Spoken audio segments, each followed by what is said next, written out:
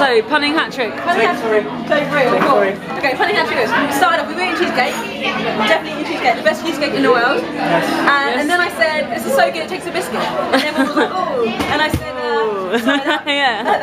and I said, sorry, that was a bit cheesy, wasn't it?